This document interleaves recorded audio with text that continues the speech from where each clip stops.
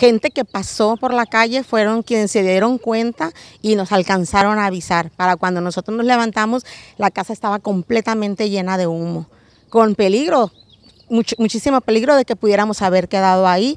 Tenemos tres niños y esa es más que nada nuestra preocupación, porque ya tiene años el problema. No, nada más vienen y miran y dicen, ah, no, no se preocupe, ya vamos a arreglar el problema. Pero ellos se van y nosotros nos quedamos con el problema, como le digo al Señor. Ustedes vienen, huelen un ratito, nosotros lo leemos todo el día. Y los animales, son unos animales exagerados lo que hay. Y, y más que nada la pestilencia.